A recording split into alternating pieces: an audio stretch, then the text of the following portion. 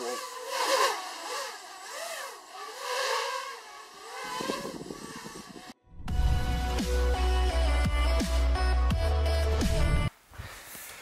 Hi and welcome to another review on RCLifeOn.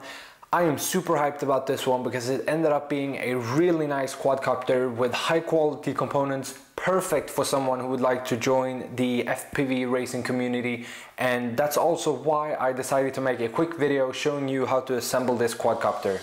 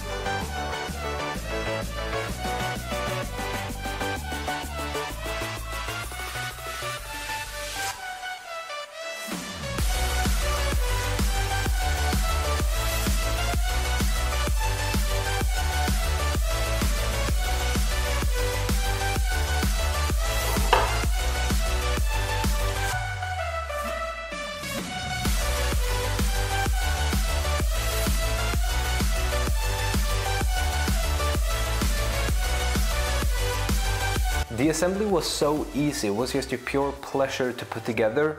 Something I forgot to mention though was that this is not a ready to fly kit, meaning you will have to buy a transmitter, receiver, batteries, FPV goggles and a charger separately. I will give you links to the description below to all these products. With that being said, let's take a close look at the specifications and overall design of this quadcopter. The Emax motors works very well with the Little Bees speed controllers, plenty of power with a 4 cell battery or step it down to 3 cell and it will be perfect for a beginner.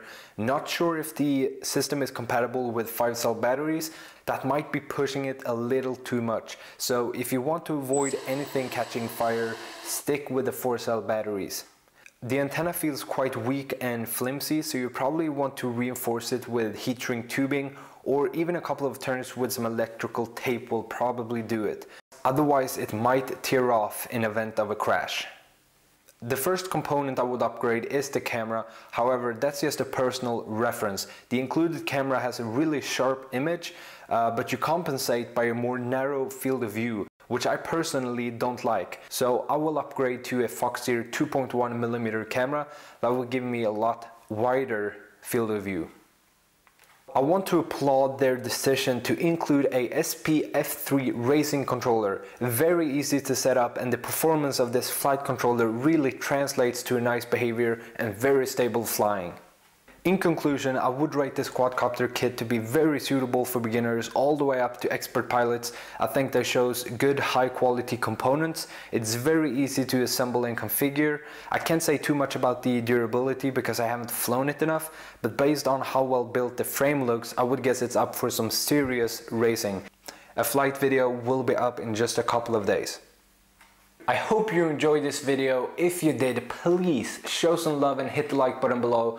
Um, I also want to say that if anyone needs help with the build of this quadcopter, comment below and I will answer uh, most likely within a couple of hours. Uh, also, don't forget to look in the description below. I put some good information down there. Uh, Alright, that's pretty much it for today's video. Subscribe and I will see you next time. Have a nice day. Bye.